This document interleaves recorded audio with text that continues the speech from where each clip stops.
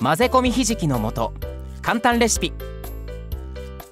混ぜ込みひじきの素は食物繊維カルシウム鉄分が豊富な国産ひじきを手軽にさまざまなお料理で召し上がれます。今回はひじきの白和えをご紹介。豆腐を細かく潰します。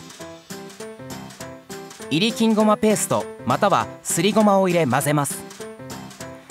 混ぜ込みひじきの素を加えさらに混ぜ合わせます。お皿に盛り付けて完成です。豆腐ほうれん草の和え物ハンバーグやコロッケなどに加えて栄養豊富なひじきをぜひご賞味ください。